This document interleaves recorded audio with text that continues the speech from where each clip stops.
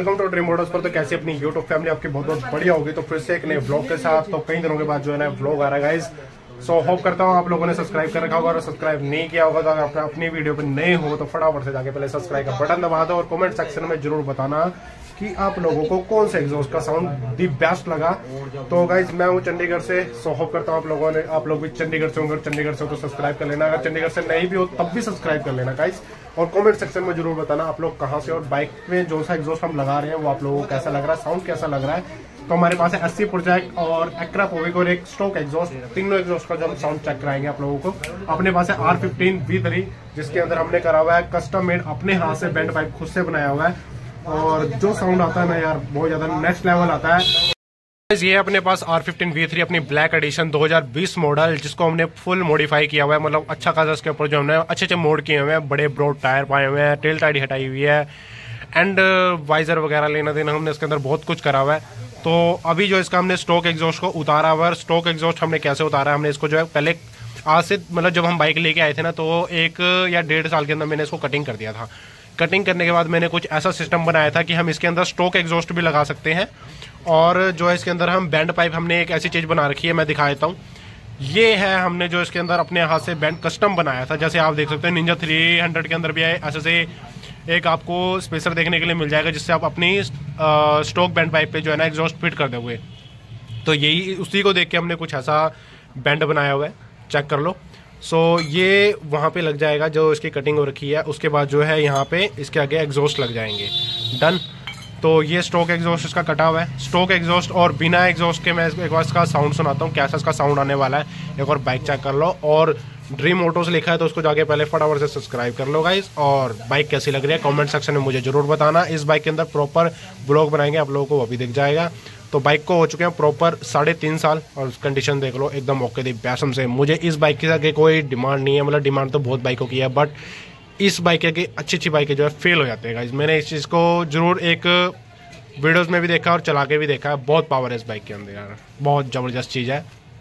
तो bike check कर लो।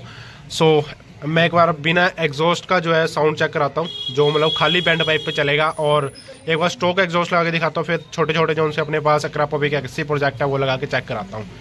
तो वीडियो को आगे बढ़ने से पहले सब्सक्राइब ज़रूर कर लेना कमेंट सेक्शन में ज़रूर बता देना कि आप लोग। सो गाइस बाइक को स्टार्ट करते हैं और इसका बिना एग्जॉस्ट का सीधा ओनली बैंड पाइप के ऊपर साउंड सुनाते हैं। तो आरिस स्टार्ट करेगा आरिस अपने साथ है। तो आरिस स्टार्ट कर।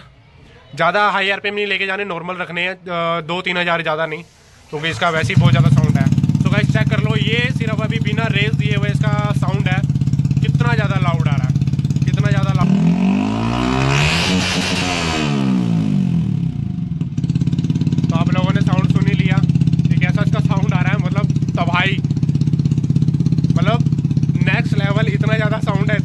साउंड आप लोगों ने सुनी ली और साउंड के बाद जो मैं आप लोगों को बैंड पाइप का बताया था बैंड पाइप हमने इसका ओरिजिनल वाला ही क्यों काटा हुआ है? क्योंकि इसके अंदर हमारे को कैटलेटिंग कन्वर्टर देखने के लिए मिल जाता है, जिसके अंदर हमारी बाइक का जो कंप्रेशर बना रहता है और इंजन ऑयल पर दिक्कत नहीं आती, जल्दी खत्म नहीं होता और दूसरा पिस्टन के ऊपर कोई दिक्कत नहीं आती और सुन लिया मतलब इतना भी अगर हम सीधा बैंड वाइप लगाते हैं तो उसका ज़्यादा लाउड होता है, इसका ज़्यादा लाउड नहीं हो रहा नॉर्मल है बेस ही आ रहा है। उसके बाद हम इसका जो है स्ट्रोक एग्जॉस्ट आप लोगों को लगा के दिखाते हैं, उसका स्ट्रोक एग्जॉस्ट का साउंड कैसा रहता है, उसके बाद ऐसी प्रोजेक्ट लगाएँगे, फिर एक्रा को भी लगाएँगे।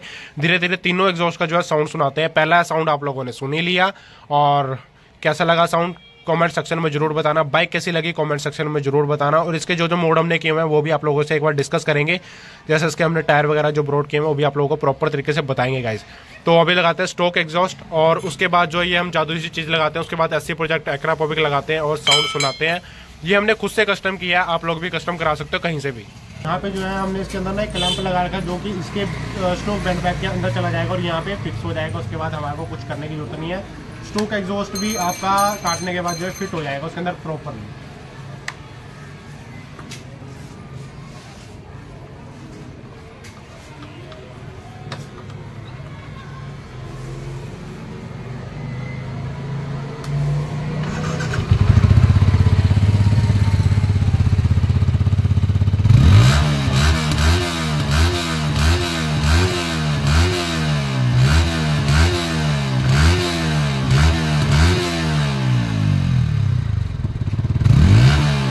पास है ये बैंड पाइप जो हमने खुद से हैंड कस्टम किया था, जो इसका बैंड पाइप था, वो हमने इसको काट पीट के हमने जो इसमें एक छोटा सा बैंड पाइप बनाया जो हम इसके स्टोक एग्जॉस्ट के अंदर जो इसको फिट करेंगे और फिट करने के बाद जो है इसके अंदर हम अपना अपना आफ्टर मार्केट एग्जॉस्ट कोई भी लगा देंगे इसके अंदर।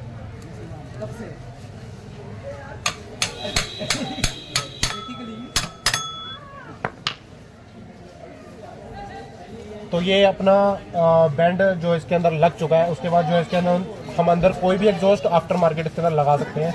वाइस ये है अपने पास एक्रापोविक जो हम इसके अंदर डेली यूज़ कर रहे हैं अपने चंडीगढ़ के अंदर। तो देख सकते हो, ये भी मैंने यूज़ और पुराना लिया था मार्केट से मतलब किसी यार दोस्त के पास पड़ा था, हमने उनसे ले लिया। तो अब ये इसके अंदर फिट करते हैं, उसका साउंड सुनाते हैं आप लोगों को। तो ये फिट हो चुका है प्रॉपर तो आप चेक कर सकते हो मतलब कोई इसके अंदर वेल्डिंग नहीं करी हमने। कोई इसके अंदर ऐसा कोई कट नहीं मारा जिससे हमारी बाइक के अंदर कोई दिक्कत आएगी या हमें इसे वेल्डिंग कराना पड़ेगा। तो वेल्डिंग कराने की ज़रूरत नहीं है बिल्कुल भी और प्रॉपरली अपने साउंड को इंजॉय करो। कहीं भी ले जाओ, कुछ भी करो, कहीं से भी आप इसके अंदर स्टॉक लगाओ या आफ्टर मार्केट एग्जॉस्ट लगाओ, कोई दिक्कत नहीं आएगी आप लोगों को।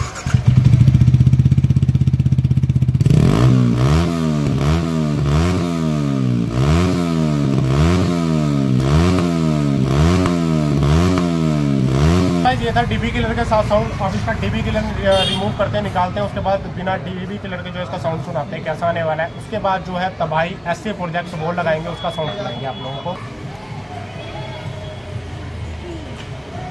ये रिमूव कर लिया आप साउंड सुनाते हैं बिना डीबी किलर के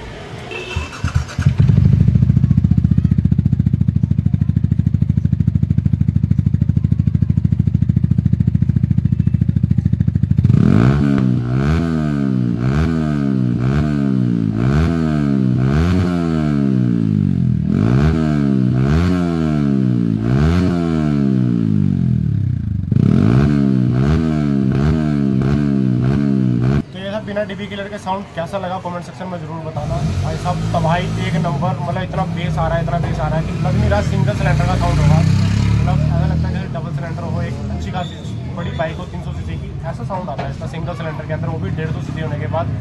तो वो ये है सिर्फ़ एक, जो हमने इसका बैंड पाइप है ना कैट के होने के बाद भी तो वो एक कैट जो है इसका बेस बनाती है हमेशा। कोई भी स्ट्रोक एग्जॉस्ट हो कैट हमेशा बेस बनाएगी। तो ये रीज़न है इसके बेस बनाने का। तो और ना कभी कोई दिक्कत आने वाली आपकी बाइक के अंदर। अब बारी आती है ऐसी प्रोजेक्ट जो कि इस दुनिया का सबसे तबाही एग्जॉस्ट है और इससे ज़्यादा कोई एग्जॉस्ट मुझे लगता नहीं। इससे अगर ऊपर कोई आता है एरो का एरो का लगाओ या ना लगाओ, एक बराबर है। इस एग्जॉस्ट के अंदर जो बेस आता है ना, वो ज़्यादा नेक्स्ट लेवल आता है और बैक फायर किक से खतरनाक खतरनाक आता है। तो लगाता हूँ चेक कराता हूँ, साउंड कैसा लगने वाला है।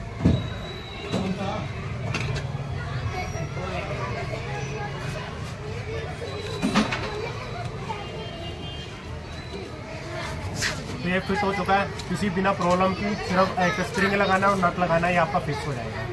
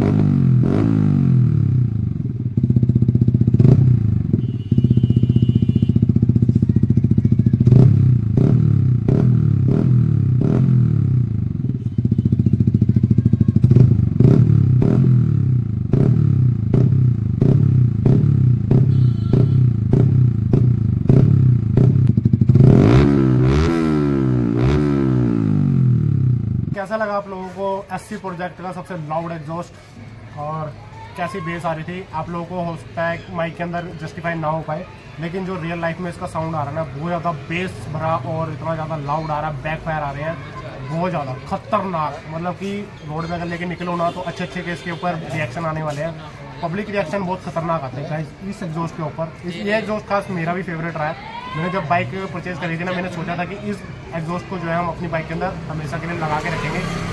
बट ये ऐसा नहीं है हम ट्राई सिटी के अंदर नहीं यूज़ कर सकते क्योंकि मैं चंडीगढ़ में रहता हूँ। चंडीगढ़ में आप लोगों को रूल का पता है, बहुत ज़्यादा नेक्स्ट लेवल है। तो इसलिए हमने जो है यहाँ पे एक्रापोवी का एक अलग से परचेज कर लिया था। तो इसके अंदर हमारे को डिबी मिल जाता है, जो हम ट्राई सिटी के अंदर इसको यूज़ कर सकते हैं प्रॉपरली और मैं अभी एक एग्जॉस्ट मोड लेके आ रहा हूँ आर वन वाला। तो एक बार वो भी मैं आप लोगों को चेक करवाऊँगा कुछ टाइम में। वो हम अपने बाइक के अंदर इंस्टॉल करवाएँगे, बहुत जल्दी में। तो ये था आज का ब्लॉग तो गाइज़ कैसा लगा आज का साउंड और कैसी लगी आज की वीडियो और कैसा लगा आज का ब्लॉग सॉफ करता हूँ आप लोगों को बड़ा मज़ा आएगा एंजॉय किया होगा और ऐसे प्रोजेक्ट ने तो भाई तबाही मचा दी है और तबाही क्यों ना मचाए भाई? वो नाम से ही इसी से जाना जाता है कि वो लाउड एक बहुत ज़्यादा नेक्स्ट लेवल साउंड करता है प्रोड्यूस करता है। सो so, काम कैसा लगा? सो होप करता हूँ अच्छा लगा होगा। सब्सक्राइब कर देना लाइक कर देना कमेंट सेक्शन में ज़रूर बताना कौन से एग्जॉस्ट का साउंड आप लोगों को अच्छा लगा और फिर नई वीडियो लेके आते हैं, कुछ आप लोगों के लिए ज़बरदस्त वीडियो लेके आते हैं, जो कि जिसमें आप लोगों को इन्जॉय मिले और ऐसे भाई को प्यार करते रहना, ऐसे भाई की वीडियो को प्यार करते रहना, आप लोगों का चैनल है। ग्रोथ करते रहना इसका इस इस वीडियो को, इस चैनल को, क्योंकि आपके एक चैनल एक सब्सक्राइब लाइक से जो है अपने को ना अप्रिशिएट होता है यार कि हम अगली वीडियो में आप लोगों के लिए अच्छी अच्छी लेके आए और ऐसी ऐसी तबाही वीडियो लेके आए। और राइड्स के लिए भी ना हम जल्दी ही तैयार होने वाले हैं। अपना कैमरा वगैरह भी आ जाएगा। कैमरा आ जाएगा तो राइड भी हम स्टार्ट कर ही देंगे।